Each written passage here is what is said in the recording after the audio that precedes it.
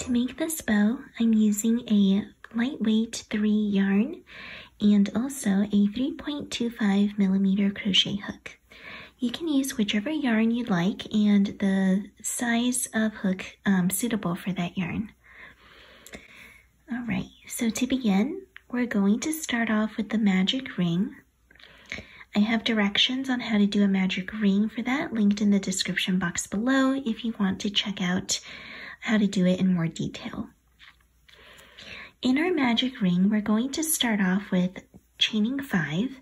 So that's one, two, three, four, and five chains.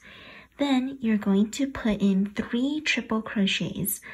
So triple crochet is going to be yarn over two times, insert your hook into the magic ring, pull a loop out, go through the first two loops, go through the second uh, two here, and go through the last two. That's one triple crochet. I'm going to do it two more times. Loop twice. Insert your hook into the um, ring. Pull out a loop.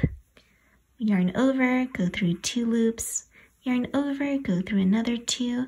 And yarn over, go through the last two. One more time. Two loops. Insert your hook into the magic ring. Pull out. Yarn over, pull through both loops yarn over, pull through two loops, and yarn over, pull through two loops. Now you're going to chain five, that was one, two, three, four, five, slip stitch into the magic ring here. Then you're going to chain five again, one, two, three, four, five.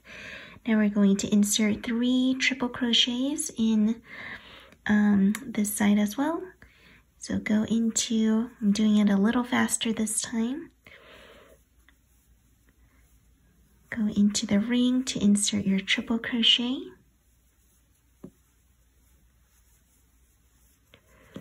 After you have three triple crochets, we're going to um, chain five.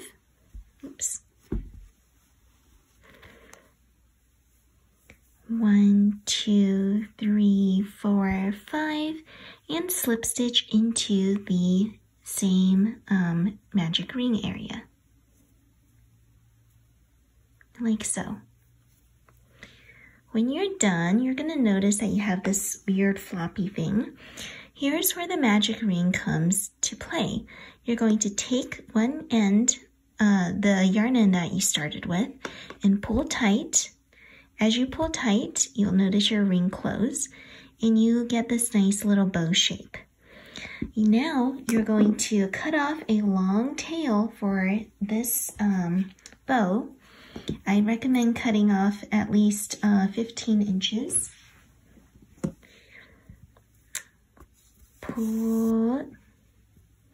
Okay. And we're going to um, after you fasten off with a long tail, you are going to take that long tail and basically wrap it around the center of your bow. So you're pulling it around like so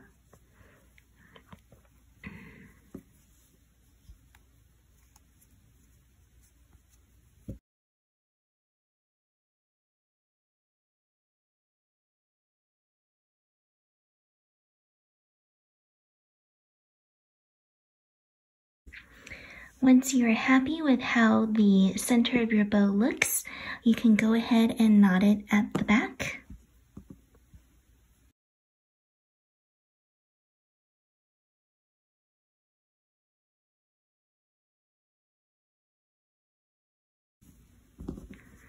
And there you have it. You have your little bow done. You can use it as a cute little applique to put onto your amigurumi dolls, or you can use it for a headband, a hair accessory, etc.